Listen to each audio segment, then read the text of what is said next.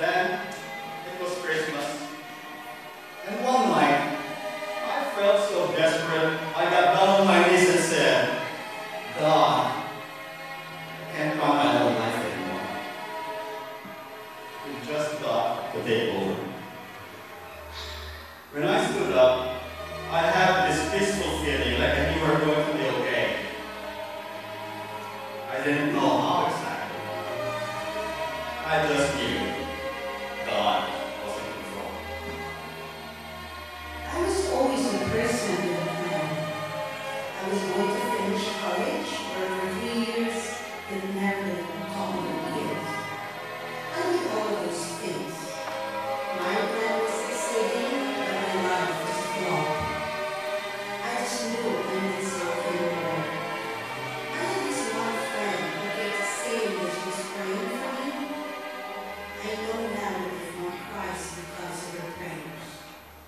Jesus was something you never planned on, but his love exceeded.